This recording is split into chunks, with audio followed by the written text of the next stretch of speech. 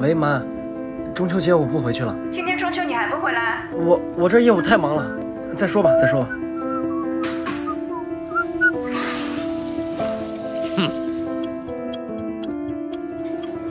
听说你弟弟失业了，你也不操心啊，还在逛街。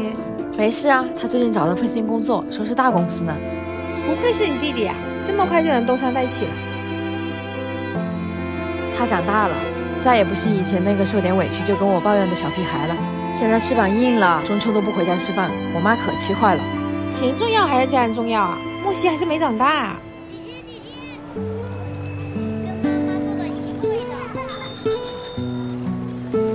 欢迎大家来到我的直播间。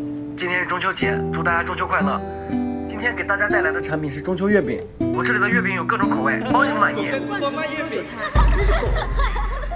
找我买还有优惠，想要的点击下方购物车。哎，莫西不是说去大公司了吗？对对对，马上中秋节了，所以今天给大家带来一些月饼。你不是说去大公司吗？你又骗我。之前买了很多月饼，想着中秋发给员工的，现在发不出去了，就想着正好直播卖掉。我操，该不会是他女朋友吧？对不起姐，我又让你失望了。原来是他姐，不好意思，朋友们，刚刚出现一点小小插曲，现在直播继续。我弟可不丢人，我弟是世界上最爷们的人，真是狗。我弟可不像狗。他是我们全家人的至尊宝，希望大家多多支持。阿七，我要马上先从违禁都别跟我抢。辛苦了，好处都卖出去了，喝口阿木西补充一下营养吧。累坏了吧？嗯，这个好好喝呀。今天多亏了有你在，不过月饼都卖出去了，带不回去给爸妈了。没事啊，爸妈又不喜欢月饼的口感，正好我买了这个阿木西月饼味道的，正好应景。而且这个阿木西还是和《大话西游》联名款，放在冰箱里，月光杯的月亮还会亮呢。这么神奇？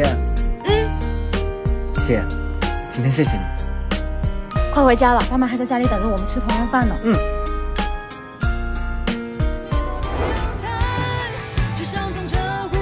我得回去陪他。你又帮他？因为我是姐姐。依靠是亲情最大的意义。